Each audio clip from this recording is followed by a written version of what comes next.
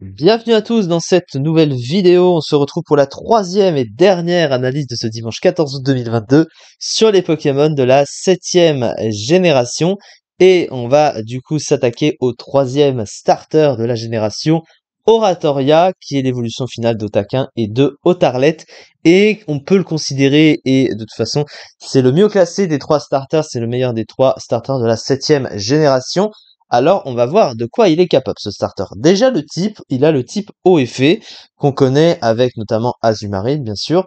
Alors, effet, c'est un des meilleurs combos de stab du jeu, on peut le dire assez largement. C'est deux types qui vont très bien ensemble, parce qu'en fait, ils s'apportent l'un et l'autre autant défensivement et offensivement. Déjà, défensivement, il y a que trois faiblesses, hein, électrique, plante et poison pour 6 résistances plus une immunité dragon, donc c'est quand même fort, avec notamment des résistances insectes, ténèbres, combat ou feu, donc ça synergise plutôt bien avec le type acier en plus de ça, et aussi les résistances glace et eau, et offensivement c'est également très fort, hein, surtout que le type eau est neutre sur le type acier, ce qui n'est pas le cas du type fée, donc vous savez qu'un stab neutre dessus c'est toujours utile, et vous voyez qu'il n'est pas beaucoup résisté, hein, même pas 30 Pokémon dans le jeu, et il est super efficace sur presque 400 Pokémon, donc c'est plutôt euh, très, c'est très bon offensivement aussi. Donc offensivement et défensivement, c'est très fort déjà naturellement. Alors, les deux euh, talents du Pokémon, le premier c'est Hydratation, qui est un talent signature, hein, je crois que c'est le seul à l'avoir. En gros, tous ces moves basés sur le son prennent le type eau, ce qui est utile, mais il a pas énormément de trucs qui en profitent. Il a juste mégaphone, un mégaphone euh, qui permet de passer les clones, hein, notamment. Donc ça va prendre le type haut, sauf que ça rajoute juste l'effet du stab et de l'attaque en lui-même, donc ça fait pas plus que ça. Donc en général, tu vas te servir d'autres attaques hein, qui ont un autre effet secondaire plus utile. Donc voilà, c'est pas incroyable non plus. Torrent, son autre talent, c'est le talent de tous les starters hauts qui booste de 50% ses attaques hauts s'il tombe à moins d'un tiers de sa barre de vie. C'est pas non plus un talent incroyable. C'est assez situationnel. Ensuite, ses statistiques. Alors, ce qui est assez étrange, je sais pas trop pourquoi, mais tous les starters, ils les ont rendus lents euh, dans cette génération. 60 de vitesse, alors que bon, Bon, on va dire que comme il rampe sur le sol, c'est peut-être plus compréhensible, mais bon, quand même, 60 de vitesse, c'est quand même assez limite pour un Pokémon offensif. Alors après, il a une bonne statistique d'attaque spéciale, 126 hein, quand même, une SPDF bonne aussi, avec 116, une base PV correcte de 80.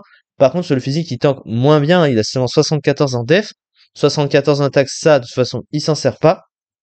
Maintenant, on va s'intéresser un petit peu au euh, move pool. Alors, sur le plan offensif, il a les stabs classiques, hein, son plus fort c'est évidemment euh, pouvoir lunaire sur le type fée. Sur le type O, alors il a une attaque signature qui s'appelle Aria de l'écume, hein, qui s'appelle euh, qui est Sparking Laria, euh, qui a pour effet de soigner de la brûlure la, la, cible est soignée de la brûlure. Ah, c'est la cible qui est qui est soignée de la brûlure, hein, c'est pas le je suis en train de voir. Euh, que je comprenne pas l'attaque la, l'envers. Inflige des dégâts, elle permet de soigner la brûlure de la cible.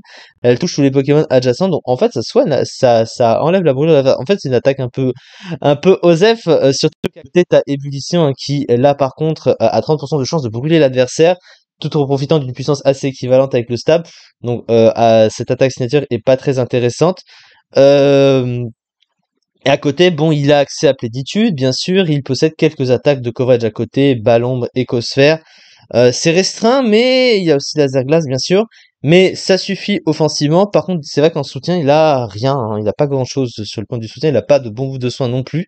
Bon, voilà, à ce niveau-là, c'est un peu plus vite. Il est un peu situé, un peu prévisible, ce Pokémon. Mais il a le setup, au moins, donc euh, c'est, c'est quand même ça. Et il est quand même fort, hein. Ça, évidemment, euh, il, est, plutôt fort, ce, ce, Pokémon. Donc, du coup, euh, voilà, fiche stratégique. Du coup, une excellente attaque spéciale une très bonne défense spéciale. Un double type très bon. Offensivement comme défensivement, un move pool offensif intéressant, offrant un bon coverage, défense passable et vitesse faible, talent situationnel. Du coup, euh, le Pokémon se classe en Underuse, donc c'est le meilleur classé des trois, et 11ème de l'Underuse, donc c'est un top tier Underuse ce truc, 16,65%, donc en vrai c'est euh, un très bon starter, c'est peut-être, on peut le dire, c'est un des meilleurs starters du jeu, hein, assez clairement. Euh, euh depuis qu'il n'y a plus les mégas en plus, c'est plutôt pas mal. C'est ça du coup pour cette vidéo, on se retrouve pour la suite des analyses, donc des analyses que je ferai d'avance, hein, vous auriez compris, mais on va faire comme si qu'on y était déjà, du coup demain, hein, on va dire, pour la suite des analyses sur les Pokémon de la 7 génération. Merci beaucoup de m'avoir suivi et à très vite pour la suite.